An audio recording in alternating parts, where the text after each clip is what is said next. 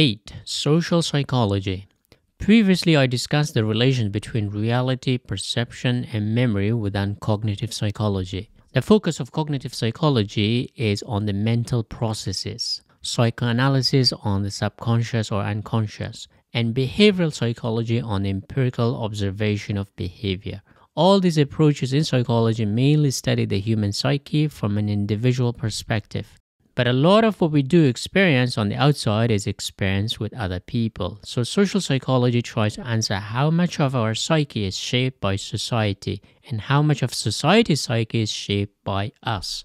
There seems to be a push and pull, a kind of tension between individuals seeking freedom and choices while society pushing you to conform. As we saw, behaviorists explain our behavior partly conditioned by the environment.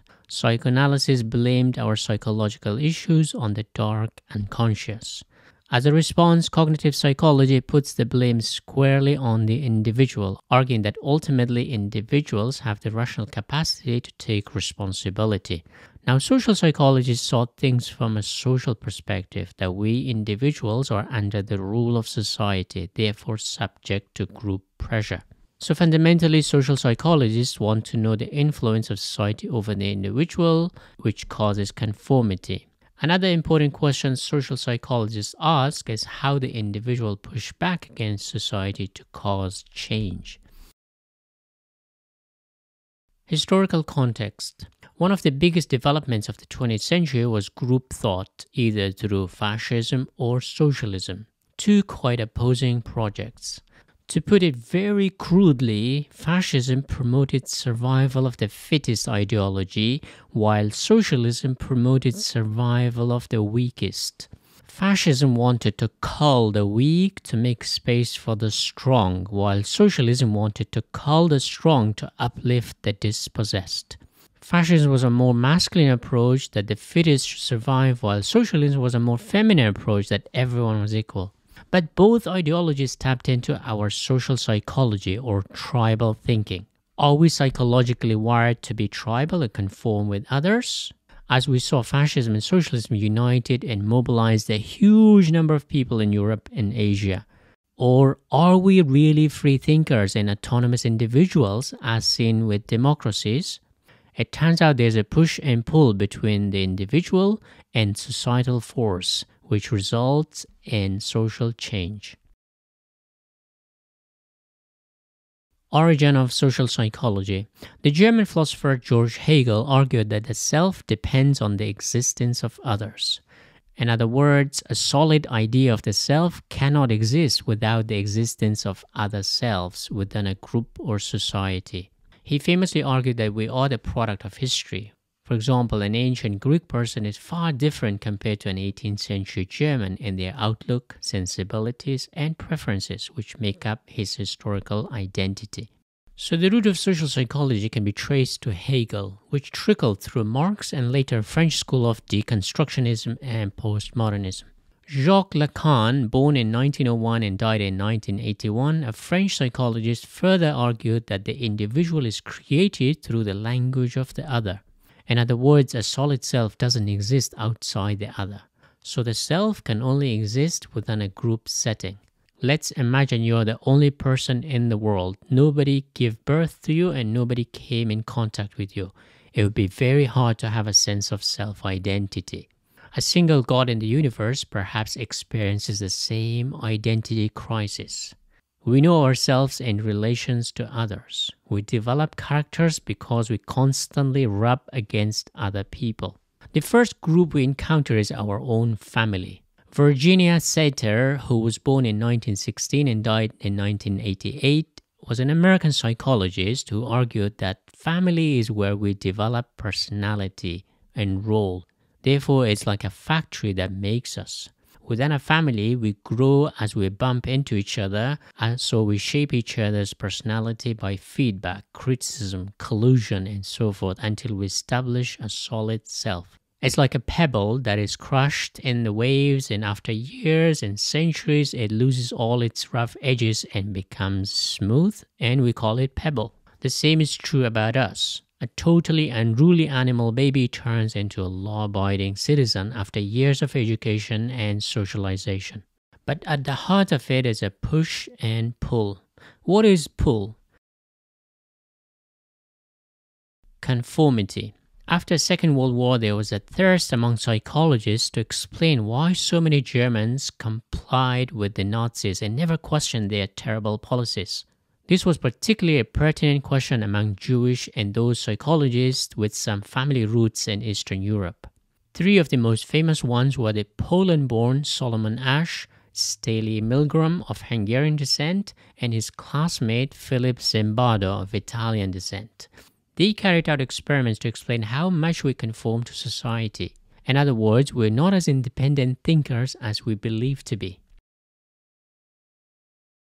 Solomon Asch was born in 1907 and died in 1996, was a Poland-born Jewish-American psychologist who in 1955 wanted to find out how strong is our urge to conform with society.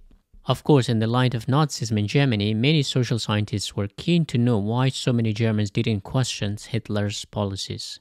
Prior to him in 1935, a Turkish psychologist, Muzaffer Sherif, whose studies showed that individuals tend to conform when there is no clarity of an answer. In a black and white situation, we are less likely to conform with bad policies or accept an erroneous claim. But when there's confusion, we side with the group. You could say that we are inherently lazy. If you are faced with a clear path and treacherous trail, we choose the easy route. But when we're faced with two dangerous roads, we look to our leaders to tell us what to do. Today in consumerism, people buy products worn by celebrities because we are overwhelmed by the number of choices available. The same is true for YouTube. We watch videos that have more views. But Asch wanted to find out if individuals conform knowing that the group had the wrong answer. His experiment involved 123 male subjects. The subjects were shown two cards. On one, one line, on the other, three lines, each line marked as A, B, and C. They were asked to answer which line, A, B, or C, was the same length as the line on the other card. Asch wanted to know if the subjects would give the answer that conformed with the group. To do this, he always put each unaware target subject within a group of 5 to 7 people who were aware of the experiment. He would ask each person to give an answer. The unaware target subjects would always give their answers last or close to last in the group to test whether the subjects would go against the group by giving the correct answer or conform with the group despite knowing the answer is wrong. In the first stage, there was no group pressure, so only 3 out of 720 gave the wrong answer. But when they were put within a group, more than 30% conformed and gave the wrong answer. Asch saw a clear pattern. Those who went against the grain and stuck with the correct answer consistently did so. And those who were prone to conformity also consistently did so. Asch concluded that the group has a huge influence on some individuals. If the test is done in private, people stick with the right answer. However, in groups, the pressure of conformity is strong enough that people give the wrong answer despite knowing the correct answer.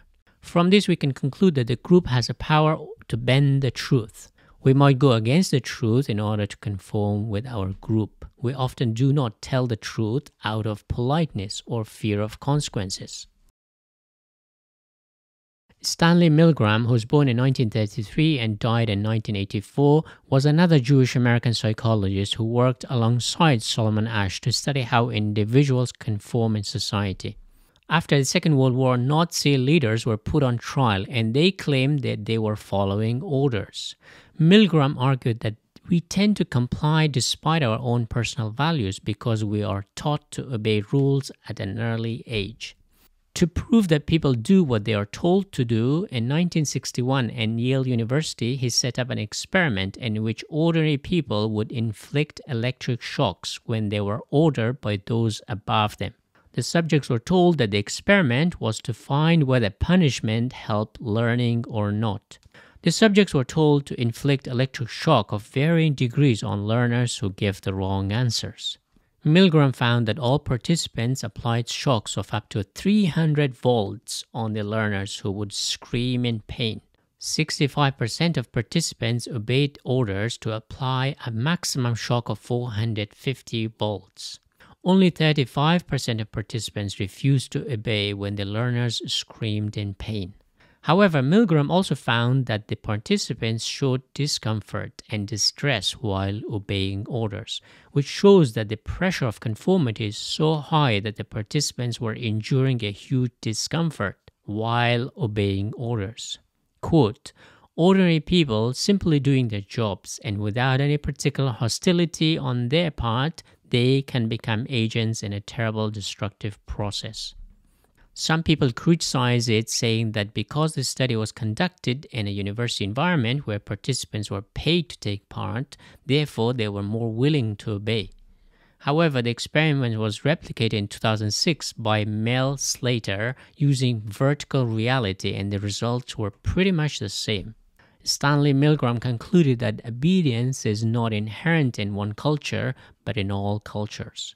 Humans have evolved in tribal settings since the dawn of time, so aligning oneself with a tribe or the authority is a survival tactic we're all evolved with.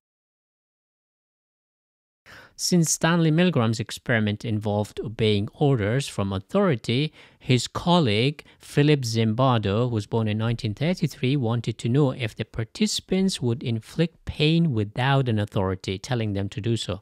In his famous 1971 Stanford prison experiment, he selected 24 ordinary students and, and randomly gave some the role of prisoners and some the role of guards.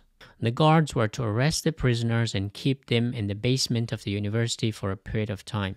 The guards also wore military uniforms and had to strip search the prisoners and had complete power over the prisoners, and their job was to keep order.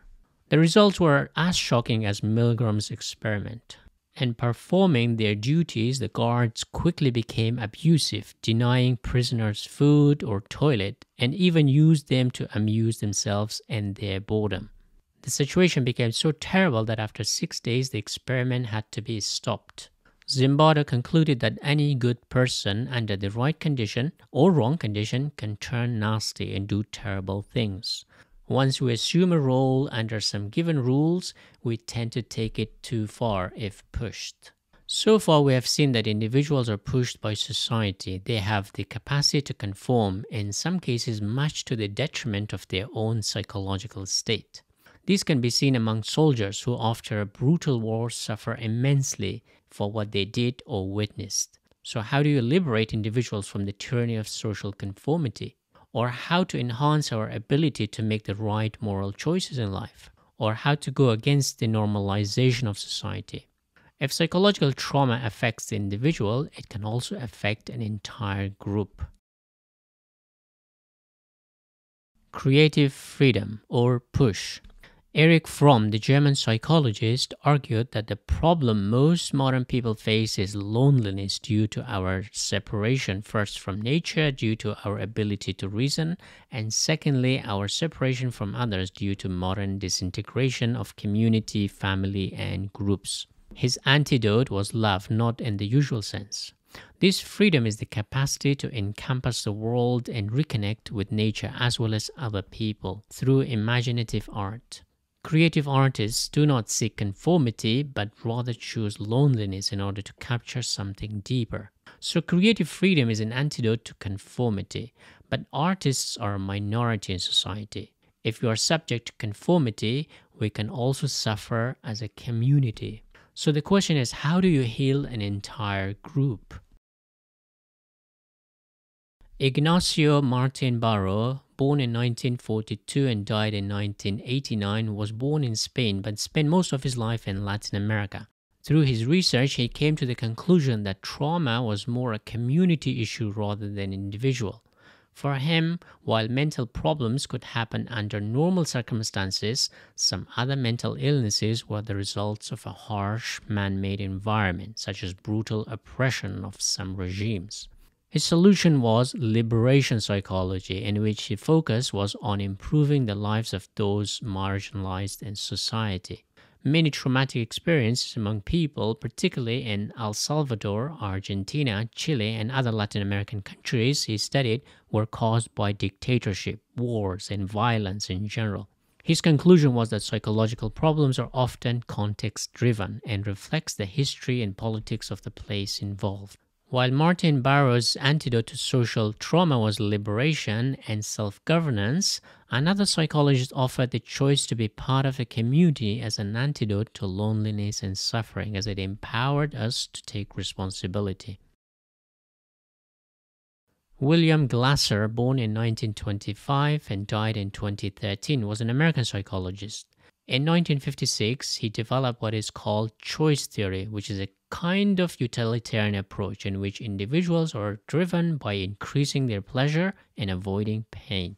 But the best way we can achieve these goals is within a social community. Since we are by nature social beings or a bunch of social animals, as Aristotle had said 2005 years ago, therefore our natural or instinctive urge to belong to a community is as strong as our urge to find food or find partner.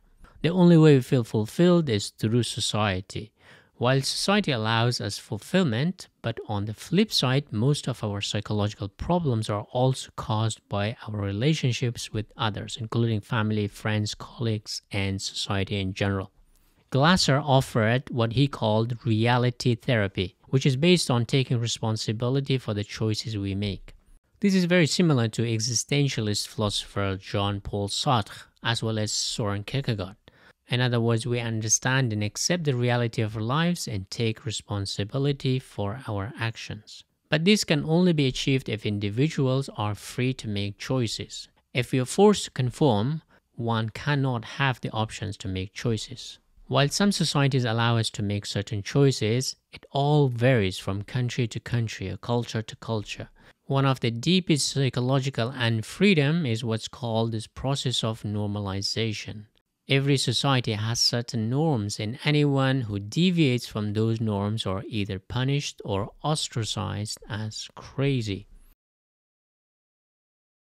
Elliot Aronson, born in 1932, in his 1972 book, The Social Animal, argued that we are all crazy in some way, and given the right time and place, we may act in a crazy way. Those who do crazy things are not necessarily crazy, he said. He looked at a shooting that happened in 1970 when armed officers shot dead some anti war protesters. Aronson studied the reaction of the people in town who wanted to spread rumors that the protesters were bad people in order to prove that the officers did nothing wrong.